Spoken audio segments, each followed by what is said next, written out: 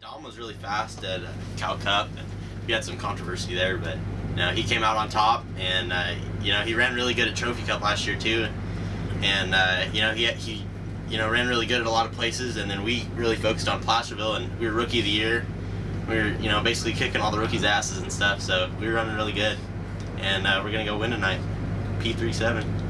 Yeah, you know, it's gonna be weird me being a seven C, being 41 all these years, but uh, yeah, we had a good battle at California Cup. Uh, the Flaggers really screwed me over, so it was uh, nice to be able to get it back. But you know, North versus South was exactly what we wanted. I was glad to be in Northern California, you know, and uh, I just that's all I do is dominate. I'm just you know I'm not as good looking as Peterson is over here, but uh, I uh, I just feel like I'm I'm the best there is. I'm like Muhammad Ali and Usain Bolt, and I'm all these guys mixed up into a pot, but I'm white. He's So- good, but I'm well endowed. so.